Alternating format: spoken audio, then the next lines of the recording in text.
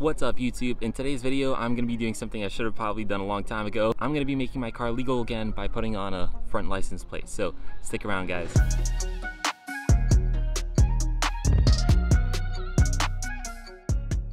So before I get into it, if you guys are new here, hit that subscribe button if you haven't already. I make videos about my BMW and pretty much anything else car related, so hit the button guys. All right guys, so let's just get into it. All right, so as you guys can see, I clearly do not have a front license plate. Some states don't need you to, but I live in New York and unfortunately I do need to have a front license plate. I didn't want to go with the traditional one where you guys basically drill into the bumper over here. So what I wanted to do was get one that I don't have to drill into the bumper.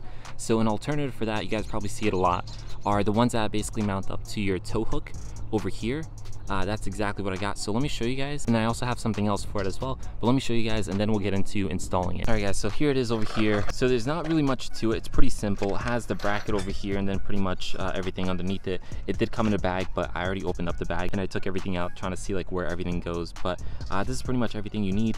And then on top of that, I also got, um, so here's my front license plate over here. Uh, and then I also got these, these license plate frames over here. Uh, I don't know if I can put this on this bracket, but I guess I'll find out. I'm definitely to put this on the rear though, because right now I have that like silver chromish dealership one, which is super ugly. And if you guys can tell, this one has like a carbon fiber look. And of course it says M Performance over here, which I think looks really cool on my 435 M Sport. Um, but yeah, I think this should make it look better. Small differences definitely count, guys. So these frames I got from Amazon for about like maybe 20 bucks or so. They have different designs as well. So I'll leave a link down in the description if you guys want one. Um, also feel free to check out the other designs. And this bracket over here I got from Burger Motorsports, um, which was about like maybe 40 bucks or so. I saw some on Amazon that were cheaper, but I actually ordered one. And when it came in, it was like super cheap and bad quality. So I kind of went for a little more expensive one, but I think it's going to be worth it, guys. So again, if you guys want this one, I'll leave a link down in the description. But yeah, let's get into installing it. All right, guys, so this thing comes in multiple pieces. You just basically need a screwdriver to actually take your license plate frames off. That's really for the back. Um, and then need an Allen key, but this comes with it. So what we're basically gonna do is put that on the side. Um, I started playing around with it, but this should basically come as a separate piece over here. So it'll come in all these different pieces over here, guys. So this, I believe, and I'm just going based off the picture on, on the Burger Motorsports website. So if I'm doing anything wrong here, guys, like feel free to correct me in the comments. Um, but yeah, so this piece here will actually go into your tow hook, and then this over here will connect to this piece, and then this piece will connect to the bracket, sort of like this, and then that will screw into that and then this bracket will connect to this. So I believe you have different, you can kind of like pick where you want to mount it exactly.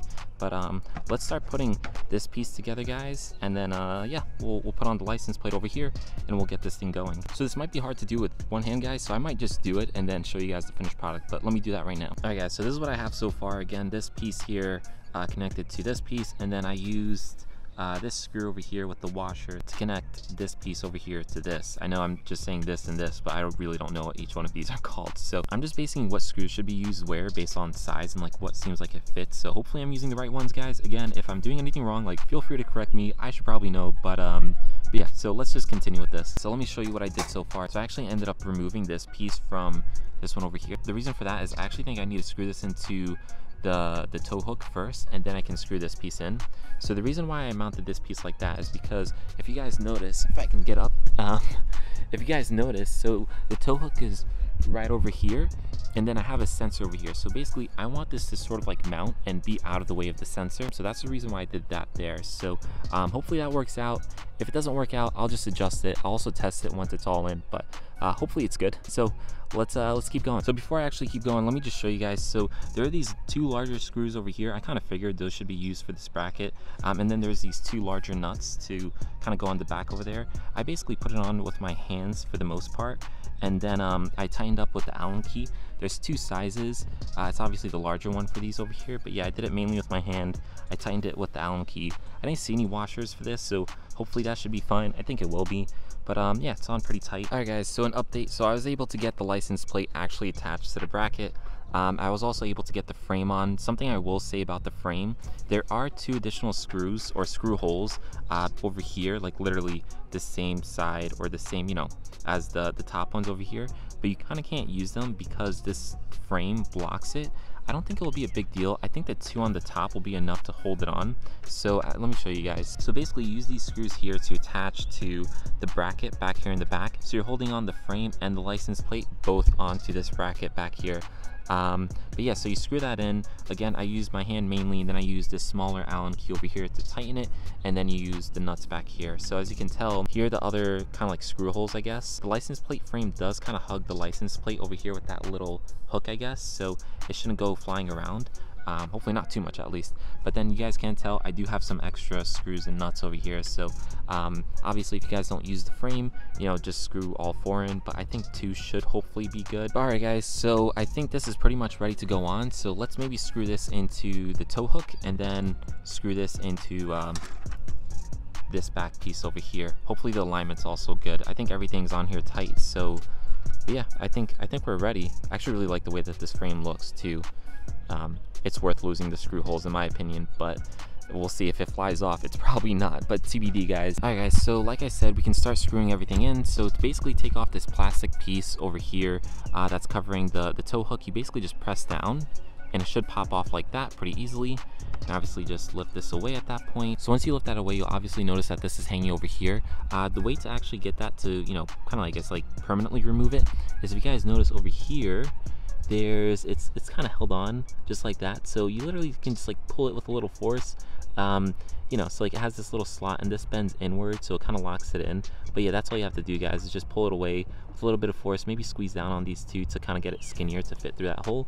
But yeah we're just gonna take that off and uh, we'll put that somewhere make sure we don't lose it. So now you can obviously see that there's spots to basically screw in. So let's put this piece in right now. Again, I probably need two hands, so let me do it and uh, I'll let you guys know. All right guys, so I was able to get it in. Um, it's super easy actually. It's literally, it screws in just like a normal screw, honestly. Just make sure it's tight. I don't know if there's really a way, I'm sure you can probably use like a plier or something to make sure it's really tight. I just tightened it as much as I can with my hands. I think it'll be good. Um, but yeah, now let's get the license plate over there and get it on. All right guys, so maybe just an update, uh, just maybe actually more so like a word of advice. Uh, maybe don't put on the license plate first, it's probably a mistake. Uh, doing it like this first and then basically being able to tighten this over here and this over here as much as you need to is probably the best route to do it. And then uh, I just need to straighten this out a little more, but then I'm gonna reattach the license plate. Also, I think it might be blocking the sensor and I don't think I can really move it to the side any more than that. But um, but yeah, let's let's just get the plate on. But yeah, now since it's all tight, I'm gonna straighten it. Then I'm gonna get the license plate on and we'll see about the sensor, which might be an issue, but we'll figure it out. So it looks like it's on. Um, it looks pretty straight to me, but I can always adjust it if I need to. Yeah, I might need to adjust it a little bit. But yeah, it's on there. The only thing is, I think I was right. It looks like it actually is blocking the sensor, so I think that's gonna trip it out a little bit. I'll look into it. Maybe I'll make like an update video on it, but it does look good at least. Like, let me show you guys from a distance. So that's it. I mean, obviously having no front license plate is the best, but kind of can't do that. Like I can technically get a ticket for not having one, so this is a nice alternative. So here's it from the back, guys. So as you can see, you can see like all the, I guess like the mechanisms to it. All right, guys, so with the front one done, let's change out the frame on the rear one. Again, it's the same exact frame, but we're gonna be changing it out because as you guys can see over here, if we go back to the rear, I have this ugly chrome um, dealership one and I kind of want this one which is uh, again carbon fiber to match the diffuser over there so rather than the chrome. So let me put that in guys and I'll show you what it looks like. That looks so much better than this. But yeah guys it looks so good. Like let me show you if I step back it's such a small thing but it makes a big difference honestly guys it's little things that make a difference. But yeah, guys, it looks so good. Honestly, like the subtle carbon fiber look looks good. M Performance looks good. Hopefully no one knocks me for it. I mean, it is 435, so I think M Performance is fair. There are ones that say M, but obviously this is not an M4, so I wasn't gonna go for that. But M Performance, I think is fair. But yeah, guys, it looks really good. Honestly, even from a distance with the diffuser, both like that carbon fiber look, it looks really good. It's such a small difference, but honestly, I personally think it makes a big difference especially that chrome thing was such an eyesore. But yeah drop me a comment guys. Let me know. What do you guys think? So something i will say i probably messed up on the front one but so this one of course had four screws one over here one over here and then two behind here. So the license plate frame does cover them. What i was able to do was actually screw in the bottom two on the license plate first. Then i was able to get the hooks on the frame basically on the license plate and then i screwed in the frame and the license plate with the two top screws over here. So as you guys can see it's basically stuck onto the bottom of the license plate with those hooks, but the license plate is screwed onto the car with all four screws. So I should probably go back and do the same thing to the front one, but I won't bore you guys with that. I'll basically just do it off camera and uh yeah that's pretty much it. All right guys so here is a couple days later. I did come back and put these little caps over here. So these basically cover the screws. I'm not sure if i'm in love with them. I mean yeah they cover the screws and they're black but like they protrude out a good amount. Anyways these come with the frame not the mount. So if you guys get the frame you'll get these. And you also have some for the back frame as well. But anyways that does come with it. Uh, so if you guys do get the frames just keep that in mind. You guys can put those on if you want. Uh, just a couple updates on it. I actually was not able to get the license plate away from the sensor. So unfortunately if you do have your sensor on it's just to be freaking out the whole time. It's to think that something's in front of it. I mean there is something in front of it but it kind of sucks. So yeah it kind of renders it useless um, which is really unfortunate guys. I tried everything. I also went online and i looked up a couple other people who did it for the 4 series um, and you know they had the same issue. So i mean it is what it is guys. So if you guys do want any of this stuff that means the mount or even the license plate frame i will leave links down in the description below so definitely check that out guys. If you guys want my opinion the mount is nice but for me it's probably not going to be the best because of those sensors. I do use the sensors a lot so i don't want them to trip out. But if you guys don't care about the sensors or you don't have any sensors definitely a good choice. Just make sure it's for the right chassis code. So i believe there are different ones for the f generation and the e generation so just make sure you have the right one. The license plate frame will also be linked down in the description below. I think that one's definitely worth it guys especially if you have like a dealership license plate frame. Definitely swap that out for like an m performance or even like an m1 you don't have to do the same exact one that i got. They have multiple designs and whatnot so definitely just pick and choose whichever one you guys like. It is nice because both of these things also come with all the tools you need. It comes with all the screws. It even comes with like an allen key and the license plate frame actually comes with a little screwdriver. So uh, this is it over here. So if you guys can see that that's a little screwdriver it gives you I mean, hey, it sucks, I'll be honest with you guys, but like, it's nice that they give you something. And then uh, the mount gives you like all the Allen keys and whatnot that you need.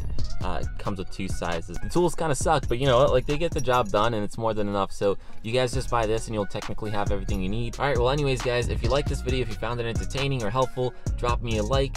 Also, leave me a comment. Let me know, what do you guys think about this license plate holder? Let me know what you think about the frame. Uh, and also, if you guys have an idea or any suggestions on what I should do to mount the license plate, like please let me know. If you haven't already, hit that subscribe button. It really helps me out. But yeah, anyways, I'll catch you in the next one. Peace.